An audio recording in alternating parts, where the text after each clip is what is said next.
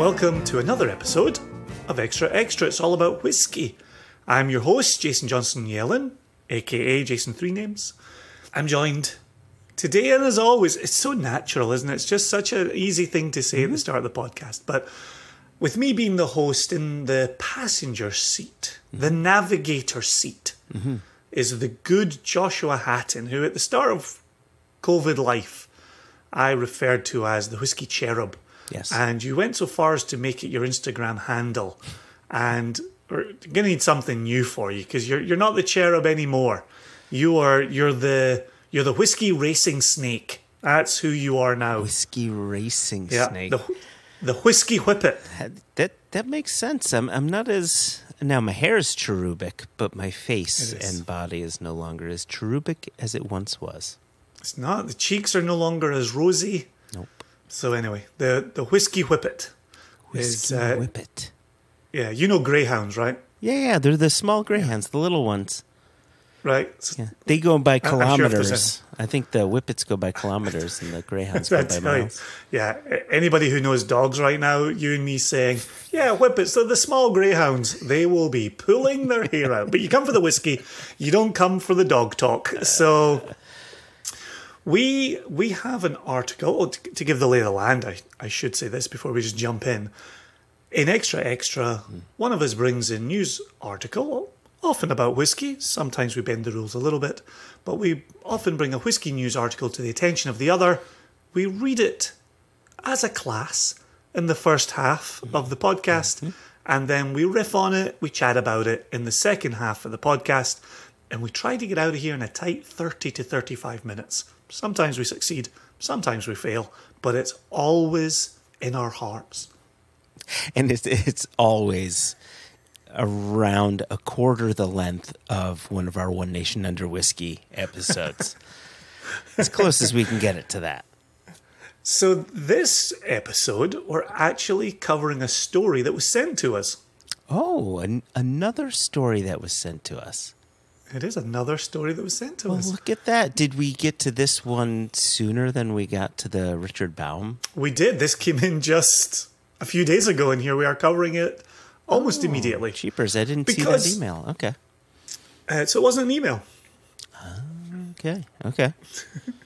So, my non whiskey loving brother sent this in from Scotland. We have a BBC article. I did see a few other people post this up on the, the social medias, on the, the Twitters. This got a little bit of traction. And there's a reason I want to cover this today, not just because it was sent to us by Murray. Uh, that's the name of my brother. Anybody joining us for the first ever episode? Um, not just because it was sent by Murray, but because you and I had a similar grumble about it. Yes. And I think it's a worthwhile grumble Yep. that we can really delve into. So the article comes from the BBC, the British Broadcasting Corporation.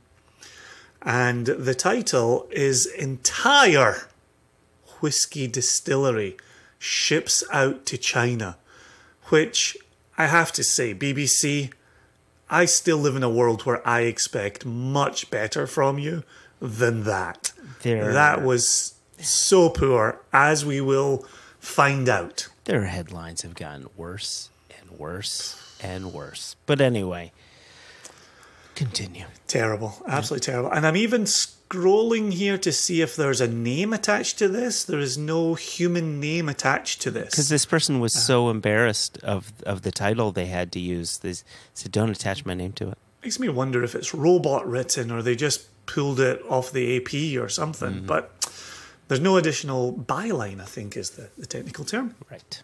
So, so to reiterate, we're going to read the headline again and then we jump right into the story. Entire whiskey distillery ships out to China. The article goes An entire whiskey distillery is being shipped out from Scotland to China on Friday. So here we are recording this July 18. Friday would have been July 16. Mm-hmm. So that's how timely we are here. More than 35 tons of equipment, including stills, flooring, control valves, and pipework, is leaving Buckie in Moray for the port of Tianjin. Tianjin. Oh, yeah. I'm, I'm trying to think. What how, what does that mean in Gaelic? But no, it's going to China. So here we go. Doesn't mean anything in Gaelic. The equipment will be assembled at a facility being built in Inner Mongolia. wow. It's funny we live in we live in this global world, and I still think of uh, old expressions like outer Mongolia. Like when I was growing up in Scotland, if you know if somebody was kind of making a, a wee jokey comment about the farthest you could go, Yeah. obviously Timbuktu Sure. is, is always a From here to Timbuktu. Yep. Right? But Outer Mongolia, I almost feel like that appeared in movies and things like that. Like Outer Mongolia was like, how far? Yeah, how far? I, I'm sure. I'm sure it was in the Maltese Falcon. I, I'm sure that's when they first brought it up. Any Maltese Falcon lovers out there, please write in and tell us if uh, Joshua is right or not. So Inner Mongolia, it's not quite Outer Mongolia, but even Inner seems quite far away. You can't get to inner without getting through outer. Anyway, continue, please, Jason. Is that how space works? Uh, Isaac Asimov says so. Anyway, please continue. I only listen to Richard Branson when it comes to space talk. The shipment is part of a £3 million design and build deal signed between Forfar firm Valentine International and China's Mengtai Group in 2019. The facility in Ordos, and if we've got any Ordos listeners, um, I apologise if I've butchered the name of your of your uh, your town, your locality. The facility in Ordos will become Inner Mongolia's first whiskey distillery when it opens, probably at the end of this year. All of the distillery equipment was built by Rothes based firm Forsyths, mm-hmm. which is sending a team of five engineers to supervise assembly. Forsyths have a team in Hong Kong to provide after sales backup and services. Can you imagine that? That assignment that they got. Hey boys, we're, we're going to send you overseas. All right, okay, where we go? Australia, Taiwan, India, maybe. Um, Inner Mongolia. Uh, Where now? Uh, Excuse me. And, and where is that in proximity to Timbuktu? Apparently, Inner Mongolia is between Outer Mongolia and Timbuktu. That's how you find it on a map. Valentine International chairman and managing director David Valentine said the project was the brainchild of Mengtai chairman Ao Fengting, who planned to create, quote, a globally award winning whiskey.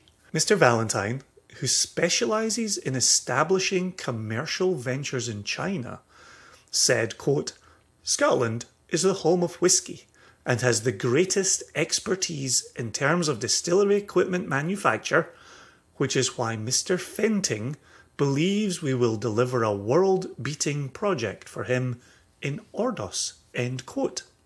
It is Mengtai's first venture into the world of whiskey. One of Inner Mongolia's largest private firms, its core businesses include coal production and electricity generation. Interesting. People have Wha- coal coal fired stills.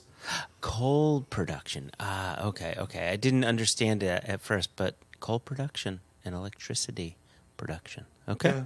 Don't normally think of production connected to coal. You think about mining connected to coal. You don't really produce coal. It's a it's it's a different English uh, than we speak over here in the United States, Jason. I don't know, the BBC. Used to trust the BBC. Only a couple of short sentences to go here and, and we'll be we'll be out of the first half. Okay. In a separate development, Valentine International has signed, quote, a strategic agreement, end quote, with Mengtai to supply bulk whiskies for China. Mr. Valentine declined to name the whiskey distiller in that deal, but said it was a, quote, long established, end quote, firm. Hmm. That's your article, pal. That's it in the can. God, it it that's okay.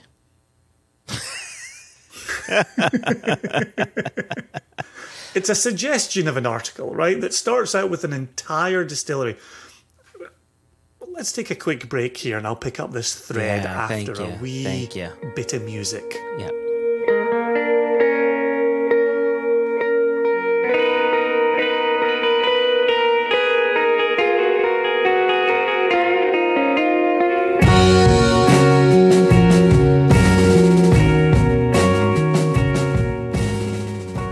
Picking up the thread that we that we put down towards the end of the first half. This title, you and I have the same response to this. Entire whiskey distillery ships out to China. Yeah. You, it, it made me think of deals where London Bridge has gone to Arizona or Burns's cottage has gone off to I think there's a place in the state of Georgia uh, has a has a replica or something like that and and so you you hear of these deals where where people have purchased something in the United Kingdom and brick by brick it has been broken down and sent off to another locality. Yeah. And I think you and I thought the exact same thing when we saw entire whiskey distillery ships out to China.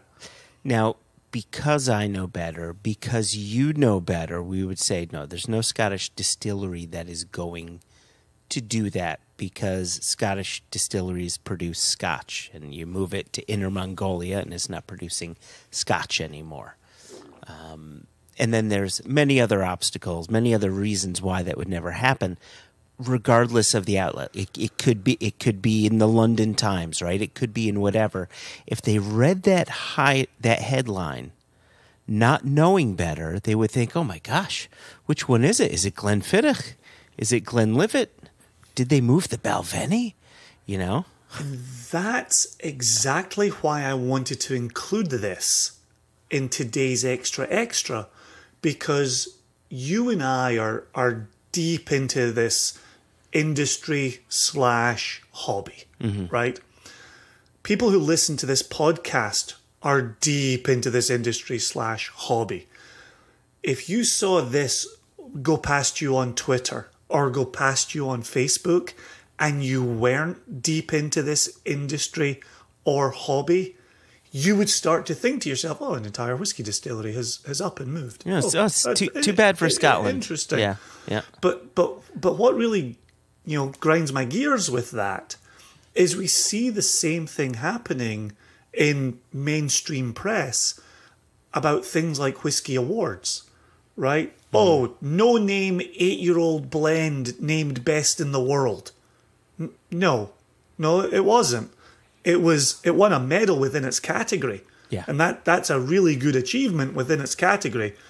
It wasn't named the best thing in the world. So don't you know, don't start thinking people who are buying three grand Macallans uh, are wasting their money for that reason.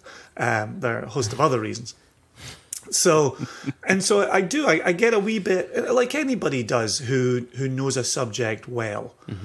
I get a wee bit annoyed when I see it misrepresented. Correct. And the stories that are then presented to folk who aren't within the hobby or mm. within the activity or, or what have you. Mm. So I, I wanted to, to pause us for a moment to say it's a bad headline for a host of reasons. It's also a continuing trend. You and I did this a couple of extra extras ago, didn't we? Mm-hmm. When we're starting to see the rise of alcohol blamed for bad behavior on aircraft, yeah, that's that's right. Mm-hmm. right? And we're starting to see some articles this summer about ooh, people are imbibing a bit too much, right? It's it's it's too quick, right? The headlines are moving too fast, mm. and they're not at all capturing what is in the rest of the article. This coming in from Murray was the the latest example of that. And the unfortunate thing is, that's that is simply the trend, right? You, I, I thought you brought up a good point. The BBC was known for great journalism, and now it's these clickbait headlines. That's how you know the unfortunate thing about print going away is now all of these various outlets are desperate to find money elsewhere. And how do they find and- money elsewhere? By clickbaity co- content that advertisers want to advertise on. Well, and the the beauty of the BBC is it's funded by the government, right? And so everybody pays into mm-hmm. the journalism produced by the BBC. Yeah. And so if you watch BBC, either you know TV channels, the BBC News, mm-hmm. there's no commercial interruption, right? And so you shouldn't need to behave a certain way to generate advertising revenue. Then you come on the website, bbc.com, and just like we gave our friends at Forbes a, a hard time because you couldn't read the article because it all had ads round about it, there's an ad at the top of this Yeah. bbc.com article. There's an advertisement down the side of this bbc.com article. That's not how the BBC should be operated. It shouldn't need to be clickbaity. It should be thorough. It should be precise. And it's not. That's another reason that I'm a wee bit bent out of shape. Oh, there's also an advertisement uh, halfway through the article as well. So, and then there's another one down the bottom right. So there's at least four right right away. Take away the clickbaity headline is another aspect of this that I want to cover. Take away the clickbaity headline, and the story is Forsyth's produced distilling equipment for new distillery in Inner Mongolia. That's interesting. That's interesting. That yeah. that has my attention. That I'd like to know more about. I, I want, I'm I'm interested to to have you keep going down that path, but there was there was something else in there that piqued my interest towards the end of the article. But but I want you to finish your thought before I bring this up.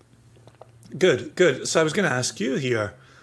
We're now talking about the first distillery in Inner Mongolia. I'm, you and I, for years, regular listeners of, of our both our podcasts know this.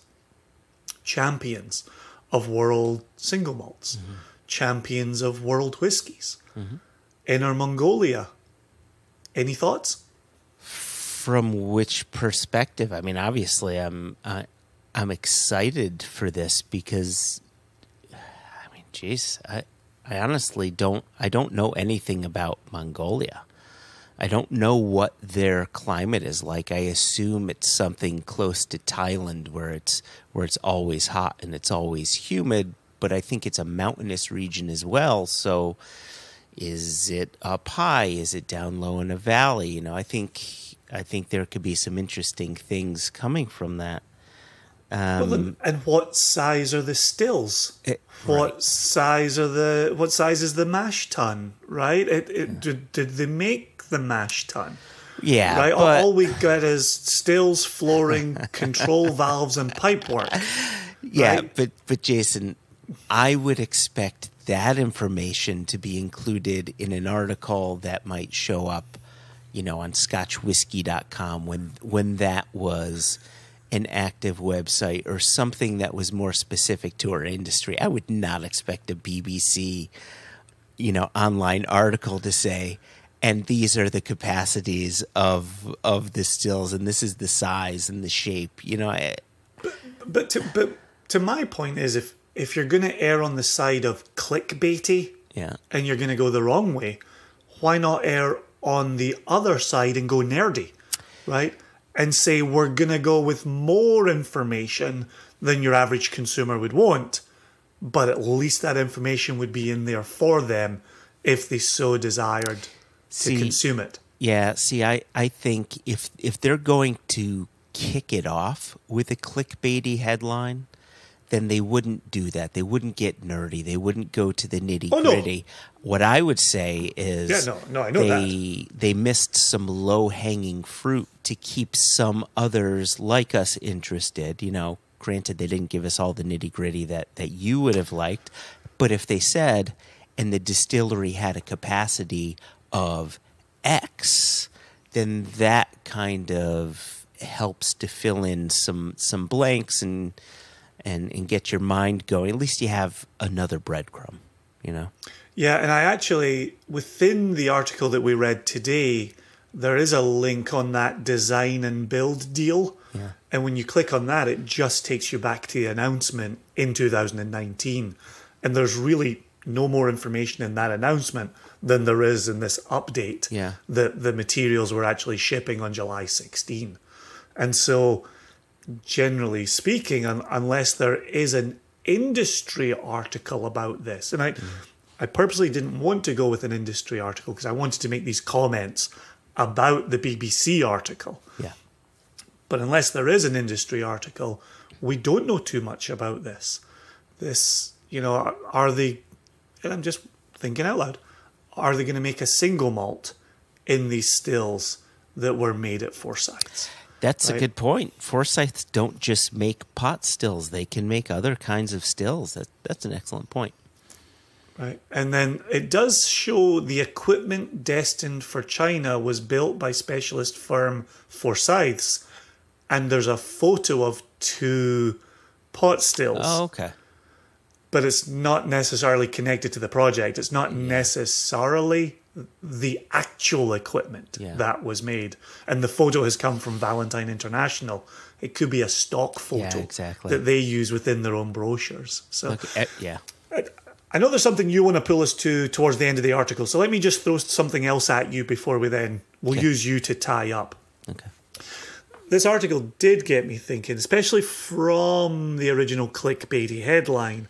I was thinking about our, our friend and good listener, Dr. Matt Bishop, hmm. with his question on DNA and distillery DNA. Mm-hmm. And as I read entire whiskey distillery ships out to China, I knew there wouldn't be any information answering this next part.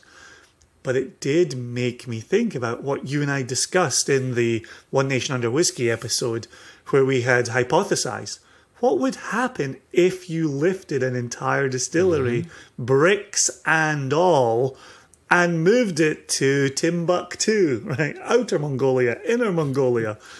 Could you take the DNA with you? And you started to allude to this uh, in answering my last question, which was what's the geography right what's the altitude where's your maturation happening like i love the fact that even just a little snippet of thought about distillery dna could still lead to those questions of where's it happening how's it happening we're, we're, we're still we're still playing around with that dna question Yeah. Yeah. It's kind of like and to me that yeah. and that's fun right Yeah. that's fun And, and and that's and that's what I was going to say. You know, there are.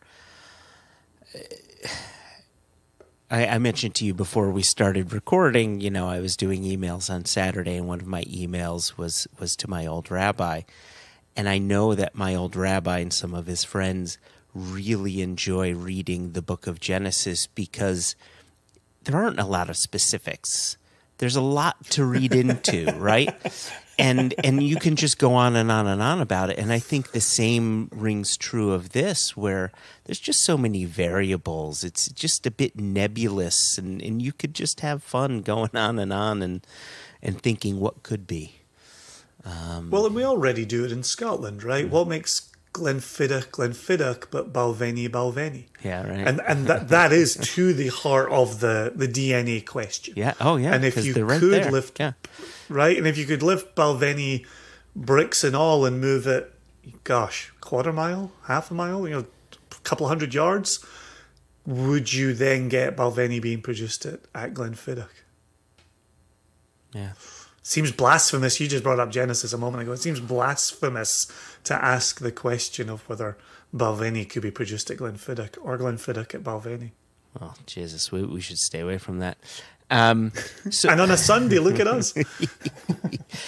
So the thing that captured my attention was towards the end of the article, and maybe you can find it, uh, where it talked about 2019. Can you read that that sentence really quickly? So the line that you want to pay attention to is the shipment is part of a three million pound design and build deal signed between Forfar Firm. It's not easy to say Forfar Firm, I'll tell you that. There's a little bit of the red leather, yellow leather going on there.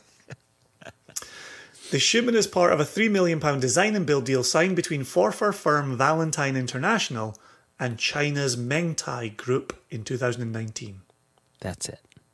That's that really captured my attention. Because here we are in 2021 and 2020 we all know basically didn't exist for the reasons of COVID and the massive lockdowns within the UK, especially up in Scotland.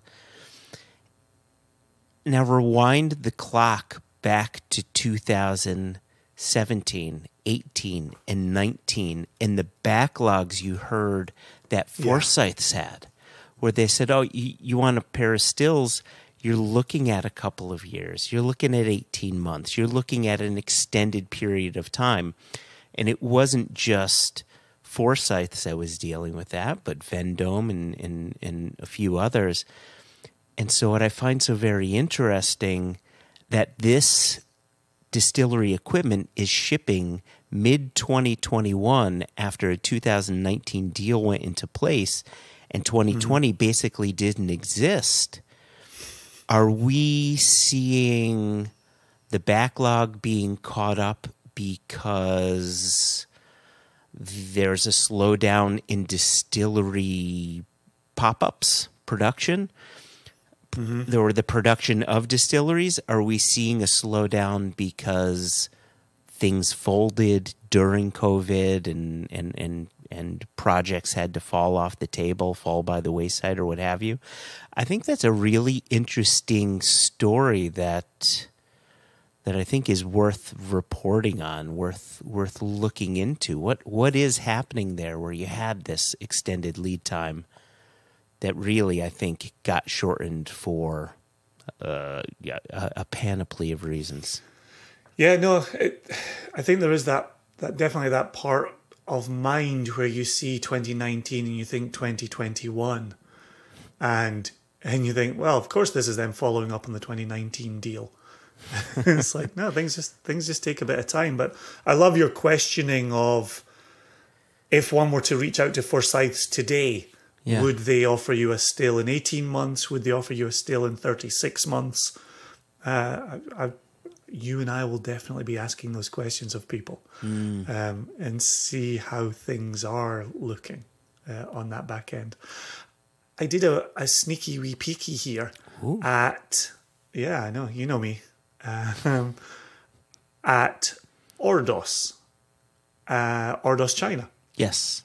And so apparently the, there's a town of Kangbashi, which mm. is in Ordos, in Inner Mongolia and it says Kangbashi, a town in the middle of barren Inner Mongolia deserts, once found itself stuck with rows of newly built but vacant apartment buildings, hmm. earning a nationwide reputation as a Gaicheng or ghost town.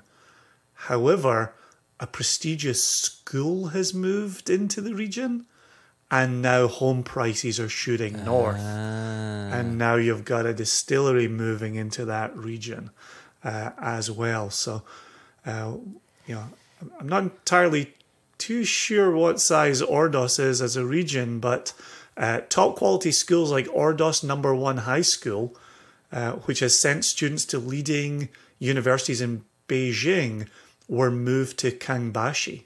So there you go. Ah. Ordos, former ghost town, town on the rise. I tell you, I like that. That's a that's a, a feel good way to end this episode. Right, former ghost towns now hustling and bustling. A university's there. People are learning. Distilleries are being built. They're going to drink good stuff. I like this. Yeah. Not not university, just to be clear. Uh, high school. Oh, high school. But high school that sends good students to there a good go. university. There you go. Okay. Yeah, there you go. Yeah, a bit of positive news. Look at us. It's we're known for our positive news. All right, Jason, take us out of here. If you'd like to send in a whiskey news story for us to consider, or, or even something a little tangential to the whiskey world, like Richard Baum did, please drop us a note at questions at onenationunderwhisky.com. no E in whiskey. And we'd love to have a look at what has drawn your attention in the whiskey world or the tangential whiskey world. But until the next episode of Extra Extra, Joshua, I will say be careful with clickbaity headlines out there. Make sure you're getting the whole story. Make sure you follow up if you need to follow up. Mm-hmm. And let's all share accurate information with one another as we continue to explore and learn about this industry slash hobby that we all love and cherish so dearly. So well said. Read, read again, look for other sources. I love it. Well, Jason, I raise my glass to you and I say cheers, and I raise my glass to our listeners as well. Cheers. As always, cheers, listeners. Thanks for listening. We'll be back with another episode in the future. Cheers.